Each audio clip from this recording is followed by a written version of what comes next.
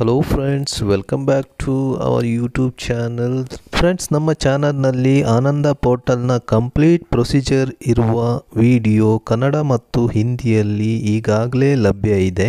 ಆ ಎರಡು ವಿಡಿಯೋಗಳ ಲಿಂಕನ್ನು ಡಿಸ್ಕ್ರಿಪ್ಷನಲ್ಲಿ ಕೊಟ್ಟಿರ್ತೀನಿ. ಆನಂದ ಕುರಿತ ಹೆಚ್ಚಿನ ಮಾಹಿತಿ ಬೇಕು ಅಂತ ಹೇಳಿದ್ರೆ ಆ ವಿಡಿಯೋನ ನೀವು ನೋಡ್ಕೋಬಹುದು. ಬಟ್ ಈಗ ಆನಂದ ಪೋರ್ಟಲಲ್ಲಿ ಹಲವಾರು ಅಪ್ಡೇಟ್ಸ್ ಬಂದಿದ್ದು ಪಾಲಿಸಿ ಕಂಪ್ಲೀಷನ್ ತುಂಬಾನೇ ಈಸಿ ಆಗಿದೆ. ಜಸ್ಟ್ ಟೆನ್ ಮಿನಿಟ್ಸ್ ಅಲ್ಲಿ ಒಂದು ಪ್ರಪೋಸಲ್ನ ಕಂಪ್ಲೀಟ್ ಮಾಡಬಹುದು ಇದಕ್ಕೆ first ಕಸ್ಟಮರ್ದು Aadhaar number, PAN number, bank account details ಹಾಗೂ ಪ್ರಪೋಸಲ್ಲಿ ಎಂಟ್ರಿ ಮಾಡಬೇಕಾಗಿರುವ ಎಲ್ಲ ಡೀಟೇಲ್ಸ್ನ ಡೇಟಾನ ರೆಡಿ ಇಟ್ಕೊಂಡಿರ್ಬೇಕಾಗತ್ತೆ. ಸ್ನೇಹಿತರೆ, ಈಗ ಈ ವಿಡಿಯೋದಲ್ಲಿ ಆನಂದ ಪೋರ್ಟಲಲ್ಲಿ ಏನೇನು ಹೊಸ ಅಪ್ಡೇಟ್ಸ್ ಬಂದಿದೆ, ಅದು ಯಾವ ರೀತಿ ಮನೆಯಿಂದನೇ ಎಲ್ ಐ ಸಿ ಪಾಲಿಸಿನ ಕಂಪ್ಲೀಟ್ ಮಾಡೋಕ್ಕೆ ಹೆಲ್ಪ್ ಆಗುತ್ತೆ ಅನ್ನುವ ಪಿನ್ ಟು ಪಿನ್ ಮಾಹಿತಿನ ತಿಳಿಸ್ಕೊಡ್ತೀನಿ.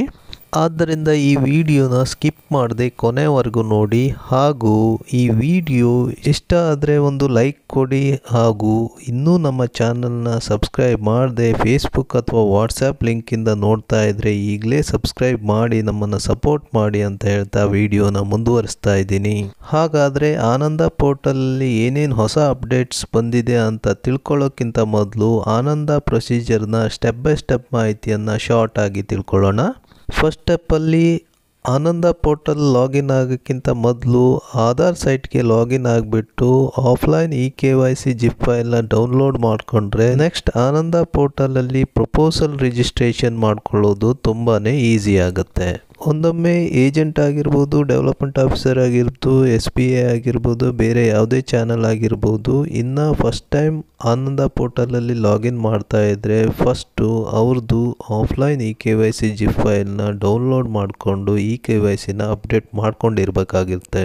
ಈ Aadhaar offline e K Y C G ಫೈಲ್ನ download ಮಾಡ್ಕೊಳ್ಳೋಕ್ಕೆ ಕ್ರೋಮ್ ಅಥವಾ ಎಜ್ ಬ್ರೌಸರಲ್ಲಿ offline e K Y C Aadhaar ಅಂತ ಟೈಪ್ ಮಾಡಿ ಸರ್ಚ್ ಮಾಡಿ ನಿಮಗೆ ಅಲ್ಲಿ ಆಧಾರ್ ಸೈಟ್ಗೆ ಲಿಂಕ್ ಸಿಗುತ್ತೆ. ಆ ಲಿಂಕನ್ನು ಕ್ಲಿಕ್ ಮಾಡಿದ್ರೆ ಆಧಾರ್ ನಂಬರ್ ಕೇಳುತ್ತೆ. ಹಾಗೆ ಅಲ್ಲಿ ಕ್ಯಾಪ್ಚಾ ಕೋಡ್ ಕೊಟ್ಟಿರ್ತಾರೆ. ಅದನ್ನ ಎಂಟ್ರಿ ಮಾಡಿಬಿಟ್ಟು ಸೆಂಡ್ ಒ ಟಿ ಪಿ ಅಂತ ಕ್ಲಿಕ್ ಮಾಡಿದ್ರೆ ನಿಮ್ಮ ಆಧಾರ್ ಲಿಂಕ್ಡ್ ಮೊಬೈಲ್ಗೆ ಒ ಟಿ ಪಿ ಬರುತ್ತೆ. ಆ ಒ ಟಿ ಪಿನ ಎಂಟ್ರಿ ಮಾಡಬೇಕಾಗತ್ತೆ. ಹಾಗೂ ಅದಕ್ಕಿಂತ ಮೇಲೆ ಒಂದು ನಾಲ್ಕು ಡಿಜಿಟ್ನ ಶೇರ್ ಕೋಡ್ನ ಎಂಟ್ರಿ ಮಾಡಿ ಅದನ್ನು ನೆನಪಲ್ಲಿ ಇಟ್ಕೋಬೇಕಾಗತ್ತೆ ಹಾಗೆ ಕೆಳಗಡೆ ಡೌನ್ಲೋಡ್ ಅಂತ ಕ್ಲಿಕ್ ಮಾಡಿದ್ರೆ ನಿಮ್ಮ offline E K Y C zip file download ಆಗಿರುತ್ತೆ. ಬಟ್ ಈ offline E K Y C zip ಫೈಲ್ನ download ಮಾಡ್ಕೊಳ್ಳೋ ಪ್ರೊಸೀಜರು ಈಗ ಲೇಟೆಸ್ಟ್ ಆಗಿ ಸ್ವಲ್ಪ ಚೇಂಜಸ್ ಬಂದಿದೆ. ಫಸ್ಟು ನೀವು O T P through Aadhaar ಸೈಟ್ಗೆ ಸೈನ್ ಇನ್ ಆಗಬೇಕಾಗತ್ತೆ. ಆಮೇಲೆ ರೈಟ್ ಸೈಡ್ ಬಾಟಮಲ್ಲಿ ನಿಮಗೆ offline E K Y C link ಕಾಣಿಸುತ್ತೆ. ಅದನ್ನು ಕ್ಲಿಕ್ ಮಾಡಿಬಿಟ್ಟು ನಂತರ ಶೇರ್ ಕೋಡ್ ಕೊಟ್ಬಿಟ್ಟು ಡೌನ್ಲೋಡ್ ಮಾಡಬೇಕಾಗುತ್ತೆ.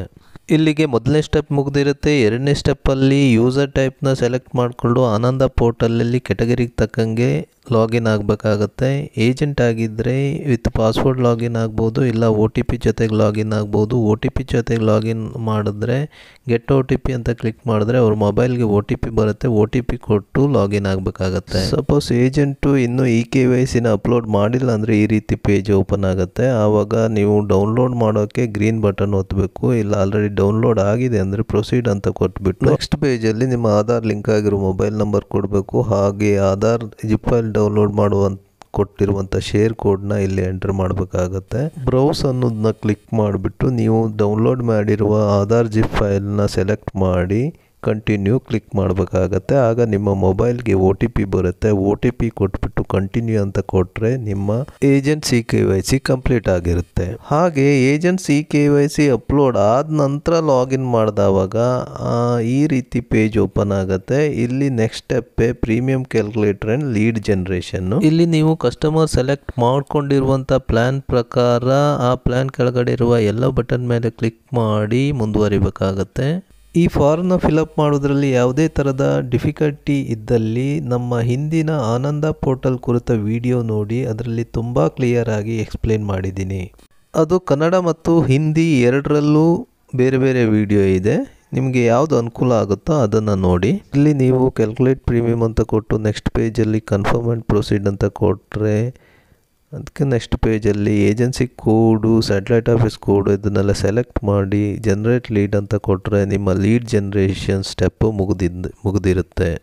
ನೆಕ್ಸ್ಟ್ ಸ್ಟೆಪ್ಪೇ ಕಸ್ಟಮರ್ ಇ ಕೆ ವೈ ಸಿನ ಅಪ್ಲೋಡ್ ಮಾಡುವಂಥದ್ದು. ನಾವು ಈಗಾಗಲೇ ಆಧಾರ್ ಜಿಪ್ ಫೈಲ್ನ ಡೌನ್ಲೋಡ್ ಮಾಡಿರೋದ್ರಿಂದ ಕಸ್ಟಮರ್ ಆಧಾರ್ ಲಿಂಕ್ ಆಗಿರುವ ಮೊಬೈಲ್ ನಂಬರು ಹಾಗೂ ಡೌನ್ಲೋಡ್ ಮಾಡುವಾಗ ಕೊಟ್ಟಿರುವಂಥ ಶೇರ್ ಕೋಡ್ನ ಪಾಸ್ಕೋಡ್ ಅಂತ ಕೊಟ್ಬಿಟ್ಟು ಆಧಾರ್ ಜಿಪ್ ಫೈಲ್ನ ಬ್ರೌಸ್ ಮಾಡಿ ಕಂಟಿನ್ಯೂ ಅಂತ ಕೊಟ್ಟರೆ ಆಧಾರ್ ಲಿಂಕ್ ಆಗಿರೋ ಮೊಬೈಲ್ಗೆ ಒ ಟಿ ಪಿ ಬರುತ್ತೆ. ಒ ಟಿ ಪಿನ ಎಂಟ್ರಿ ಮಾಡಿ ಕಂಟಿನ್ಯೂ ಅಂತ ಕೊಟ್ಟರೆ ಕಸ್ಟಮರ್ ಆಧಾರ್ ಪ್ರೊಫೈಲು ಕಾಣಿಸುತ್ತೆ. ಅದನ್ನು ಎಲ್ಲ ಕ್ಲಿಕ್ ಮಾಡಿ ಸೇವ್ ಆ್ಯಂಡ್ ಪ್ರೊಸೀಡ್ ಅಂತ ಕೊಟ್ಕೊತ ಹೋಗಬೇಕಾಗತ್ತೆ. ಈ ರೀತಿ ಮಾಡಿದಾಗ ಸೇವ್ ಆ್ಯಂಡ್ ಪ್ರೊಸೀಡ್ ಮಾಡಿರುವಂಥ ಇನ್ಫಾರ್ಮೇಷನ್ನು ಅಕಸ್ಮಾತ್ ನೆಟ್ವರ್ಕ್ ಇಶ್ಯೂ ಇಂದ ಲಾಗೌಟ್ ಆದ್ರೂ ಪುನಃ ಲಾಗಿನ್ ಮಾಡಿಕೊಂಡು ಕೇಸ್ ಸಮರಿಗೆ ಹೋಗ್ಬಿಟ್ಟು, ಅದರಲ್ಲಿ ಪೆಂಡಿಂಗ್ ಲೀಡ್ಸಲ್ಲಿ ಅಕ್ಸಸ್ ಐ ಡಿ ಕೊಟ್ಬಿಟ್ಟು ಪುನಃ ಕಂಟಿನ್ಯೂ ಮಾಡ್ಕೊಂಡು ಹೋಗ್ಬೋದು. ಈ ರೀತಿ ಎಲ್ಲ ಪೇಜನ್ನು ಸೇವ್ ಆ್ಯಂಡ್ ಪ್ರೊಸೀಡ್ ಅಂತ ಕೊಟ್ಕೊಂತ ಹೋಗ್ತಾ ಕೊನೆಯಲ್ಲಿ ಡಿಕ್ಲರೇಷನ್ ಪೇಜ್ ಬರುತ್ತೆ. ಅಲ್ಲಿ ಐ ಅಗ್ರಿ ಅಂತ ಕ್ಲಿಕ್ ಮಾಡಿದ್ರೆ next ಪೇಜಲ್ಲಿ agents A C R agents confidential report open ಆಗುತ್ತೆ. ಅಲ್ಲಿ ಕೇಳಿರೋ ಇನ್ಫಾರ್ಮೇಶನ್ ಕೊಟ್ಬಿಟ್ಟು ಸೇವ್ ಆ್ಯಂಡ್ ಪ್ರೊಸೀಡ್ ಅಂತ ಕೊಟ್ಟರೆ ಕಸ್ಟಮರ್ ಇಮೇಲ್ ಐ ಡಿಗೆ ಪೇಮೆಂಟು ಮತ್ತು ಇ ವೆರಿಫಿಕೇಶನ್ ಲಿಂಕ್ ಹೋಗುತ್ತೆ. ಆದ್ದರಿಂದ ಇಮೇಲ್ ಐ ಡಿಯಲ್ಲಿ ಯಾವುದೇ ಮಿಸ್ಟೇಕ್ ಇರಬಾರ್ದು. Customer online payment debit card credit card payment ಮುಖಾಂತರ ಪೇಮೆಂಟ್ ಮಾಡಿಕೊಂಡು ಕ ಪ್ರಪೋಸಲ್ ಇ ವೆರಿಫಿಕೇಶನ್ ಮಾಡಬೇಕಾಗತ್ತೆ. ಇ ವೆರಿಫಿಕೇಶನ್ ಆದ ನಂತರ ಮತ್ತೆ ಪುನಃ ಇನ್ನೊಂದು ಮೇಲ್ ಹೋಗುತ್ತೆ. ಅದರಲ್ಲಿ ಪ್ರಪೋಸಲ್ ಇ ಸೈನ್ ಮಾಡೋಕ್ಕೆ ಲಿಂಕ್ ಇರುತ್ತೆ. ಆ ಲಿಂಕ್ನ ಕ್ಲಿಕ್ ಮಾಡಿದ್ರೆ ಡಿಜಿಟಲ್ ಇಂಡಿಯಾ ವೆಬ್ಸೈಟ್ ಓಪನ್ ಆಗುತ್ತೆ. ಅಲ್ಲಿ ನಿಮಗೆ ಪುನಃ ಆಧಾರ್ ನಂಬರ್ ಕೇಳುತ್ತೆ. ಗೆಟ್ ಪಿ ಅಂತ ಕ್ಲಿಕ್ ಮಾಡಿದ್ರೆ ನಿಮ್ಮ ಮೊಬೈಲ್ಗೆ ಒ ಟಿ ಪಿ ಬರುತ್ತೆ. ಆ ಒ ಟಿ ಪಿನ ಕೊಟ್ಬಿಟ್ಟು ಈ ಸೈನ್ ಮಾಡಬೇಕಾಗತ್ತೆ. ಪ್ರಪೋಸಲ್ ಈ ಸೈನ್ ಕಸ್ಟಮರ್ ಕಡೆಯಿಂದ ಆದ ತಕ್ಷಣ A C R E sign agent ಕಡೆಯಿಂದ ಆಗಬೇಕಾಗತ್ತೆ. A C R E sign ಮಾಡುವಾಗಲೂ ಏಜೆಂಟು ತನ್ನ ಆಧಾರ್ ನಂಬರ್ನ ಕೊಡಬೇಕಾಗತ್ತೆ. ಗೆಟ್ ಒ ಟಿ ಪಿ ಅಂತ ಕ್ಲಿಕ್ ಮಾಡಿ ಒ ಟಿ ಪಿನ ಸಬ್ಮಿಟ್ ಮಾಡಬೇಕಾಗತ್ತೆ. ಒಮ್ಮೊಮ್ಮೆ ಕೊಟ್ಟಿರುವಂಥ sum assured agents M H R ಲಿಮಿಟ್ಗಿಂತ ಜಾಸ್ತಿ ಇದ್ದರೆ ಬ್ರ್ಯಾಂಚ್ ಇನ್ಚಾರ್ಜ್ ಅಥವಾ development officer M H R E sign ಮಾಡಬೇಕಾಗತ್ತೆ. ಅದಕ್ಕೋಸ್ಕರ ಅಡ್ಮಿನ್ ಜಾಬ್ಸಲ್ಲಿ ರೀಸೆಂಟ್ ಲಿಂಕ್ಸ್ ಅಥವಾ ಓಪನ್ ಲಿಂಕ್ಸಲ್ಲಿ ಎಂ ಎಚ್ ಆರ್ ಇ ಸೈನ್ನ ಕ್ಲಿಕ್ ಮಾಡಿಬಿಟ್ಟು ಎಂ ಎಚ್ ಆರ್ ಕೊಡುವಂಥ ಅಥಾರಿಟಿಯ ಎಸ್ ಆರ್ ನಂಬರ್ ಕೊಟ್ಬಿಟ್ಟು ಲಿಂಕನ್ನು ರೀಸೆಂಡ್ ಮಾಡಬೇಕಾಗತ್ತೆ, ಇಲ್ಲ ಓಪನ್ ಲಿಂಕ್ಸಲ್ಲಿ ಓ ಟಿ ಪಿನ ತರಿಸ್ಕೊಂಡು ಎಂಟ್ರಿ ಮಾಡಬೇಕಾಗತ್ತೆ. ಅಕಸ್ಮಾತ್ ಆ ಪಾಲಿಸಿಗೆ ಈ ಎಂ ಎಚ್ ಆರ್ ಅವಶ್ಯಕತೆ ಇಲ್ಲ ಅಂತ ಹೇಳಿದ್ರೆ ಈ ರೀತಿ M E M H R not required ಅಂತ ತೋರಿಸುತ್ತೆ. ಇವೆಲ್ಲ ಪ್ರೊಸೀಜರ್ ಆದ ನಂತರ ನಿಮ್ಮ ಬ್ರಾಂಚ್ ಎನ್ ಬಿ ಡಿಪಾರ್ಟ್ಮೆಂಟಲ್ಲಿ ಪಾಲಿಸಿ ಅಂಡರ್ ರೈಟ್ ಆಗುತ್ತೆ ಪಾಲಿಸಿ ನಂಬರ್ ಜನರೇಟ್ ಆಗುತ್ತೆ, ಹಾಗೆ ಪಾಲಿಸಿ ಬಾಂಡ್ ಇಶ್ಯೂ ಆಗುತ್ತೆ. ಇವೆಲ್ಲದರ ಪಿನ್ ಟು ಪಿನ್ ಮಾಹಿತಿನ ಪಡಲಿಕ್ಕೆ ನಮ್ಮ ಹಿಂದಿನ ಆನಂದ ಕುರಿತ ವಿಡಿಯೋವನ್ನು ನೋಡಲಿಕ್ಕೆ ಮರಿಬೇಡಿ. ಈಗ ನಾವು ಆನಂದ ಪೋರ್ಟಲಲ್ಲಿರುವ ಹಲವಾರು ಆಪ್ಷನ್ಗಳು ನಮಗೆ ಯಾವ ರೀತಿ ಸಹಾಯ ಮಾಡ್ತವೆ ಅನ್ನೋದನ್ನ ನೋಡೋಣ. ಇಲ್ಲಿ ನಾವು ನೋಡ್ತಾ ಇರೋ ಆಪ್ಷನ್ ಕೇಸ್ ಸಮರಿನಲ್ಲಿ ಲೀಡ್ ಜನರೇಟ್ ಆಗಿದೆ ಕಸ್ಟಮರ್ ವೇರಿಫಿಕೇಷನ್ ಆಗಿಲ್ಲ ಪೇಮೆಂಟ್ ಆಗಿಲ್ಲ ಅಂತ ಹೇಳಿದ್ರೆ ಪೆಂಡಿಂಗ್ ಲೀಡ್ಸಲ್ಲಿ ನೋಡ್ಬೋದು. ಲೀಡ್ ಜನರೇಟ್ ಆಗಿ ಕಸ್ಟಮರ್ ಪೇಮೆಂಟ್ ಮಾಡಿದ್ದಾರೆ ಬಟ್ ಕಸ್ಟಮರ್ ವೇರಿಫಿಕೇಷನ್ ಮಾಡಿಲ್ಲ ಅಂತ ಹೇಳಿದ್ರೆ ಪೆಂಡಿಂಗ್ ಫಾರ್ ಕಸ್ಟಮರ್ ವೆರಿಫಿಕೇಶನ್ ಲಿಂಕಲ್ಲಿ ನೋಡ್ಬೋದು. ಹಾಗೆ ಲೀಡ್ ಜನರೇಟ್ ಆಗಿ ಕಸ್ಟಮರ್ ವೆರಿಫಿಕೇಶನ್ ಆಗಿ ಪೇಮೆಂಟು ಆಗಿದ್ದಿದ್ರೆ ಪೆಂಡಿಂಗ್ ಪ್ರಪೋಸಲ್ ಲಿಂಕಲ್ಲಿ ಚೆಕ್ ಮಾಡ್ಕೋಬೋದು. ಹಾಗೆ ಪ್ರಪೋಸಲ್ ಕಂಪ್ಲೀಟ್ ಆಗಿದ್ದು ಪಾಲಿಸಿ ನಂಬರ್ ಜನರೇಟ್ ಆಗಿದೆ ಅಂದರೆ ವ್ಯೂ ಕಂಪ್ಲೀಟೆಡ್ ಪ್ರಪೋಸಲ್ ಮತ್ತು ಫಸ್ಟ್ ಪ್ರೀಮಿಯಂ ರಿಸೀಟ್ನು ಸಹ ಚೆಕ್ ಮಾಡ್ಕೋಬೋದು. ನೆಕ್ಸ್ಟ್ ಅಡ್ಮಿನ್ ಜಾಬ್ಸಲ್ಲಿ ಏನೇನು ಆಪ್ಷನ್ ಇದೆ ಅಂತ ಹೇಳಿದರೆ ರೀಸೆಂಟ್ ಲಿಂಕ್ಸು ಪ್ರತಿಯೊಂದು ಲಿಂಕನ್ನು ಕಸ್ಟಮರ್ಗೆ ರೀಸೆಂಡ್ ಮಾಡ್ಬೋದು. ಅಥವಾ ಓಪನ್ ಲಿಂಕ್ಸ್ಗೆ ಹೋಗ್ಬಿಟ್ಟು ಪ್ರತಿಯೊಂದು ಲಿಂಕನ್ನು ಅಲ್ಲೇ ಓಪನ್ ಮಾಡಿಬಿಟ್ಟು ಕಸ್ಟಮರ್ ವೇರಿಫಿಕೇಷನ್ ಆಗಲಿ ಕಸ್ಟಮರ್ ಇ ಸೈನ್ ಆಗಲಿ A C R e sign ಆಗಲಿ M H R e sign ಆಗಲಿ, ಪ್ರತಿಯೊಂದನ್ನು ಓಪನ್ ಲಿಂಕ್ಸ್ ಥ್ರೂ ಮಾಡ್ಕೋಬೋದು. ನೆಕ್ಸ್ಟ್ ಲಿಂಕಲ್ಲಿ ಆಧಾರ್ ಸೈಟ್ಗೆ ಕನೆಕ್ಟ್ ಆಗ್ಬೋದು. ಹಾಗೆ next option open B O ಸಿನಲ್ಲಿ create open B O C ಅಂತ ಆಪ್ಷನ್ ಇದೆ. ಅದರಲ್ಲಿ ನೀವು ಪ್ರಪೋಸಲ್ ಡೆಪಾಸಿಟ್ನ ಮಾಡ್ಕೋಬೋದು. ನೆಕ್ಸ್ಟ್ ಆಪ್ಷನಲ್ಲಿ ಆನಂದ ಫ್ಲೋ ಚಾರ್ಟ್ ಮತ್ತು ಪ್ರೆಸೆಂಟೇಷನ್ಸ್ ನೋಡ್ಬೋದು. ನೆಕ್ಸ್ಟ್ ಆಪ್ಷನ್ನು ಎನ್ಕ್ವೈರಿ ಈ proposal status B O C e sign ಅದನ್ನೆಲ್ಲ ಎನ್ಕ್ವೈರಿ ಮಾಡ್ಬೋದು. Send F P R first premium ರಿಸೀಟ್ನ ಕಳಿಸ್ಬೋದು.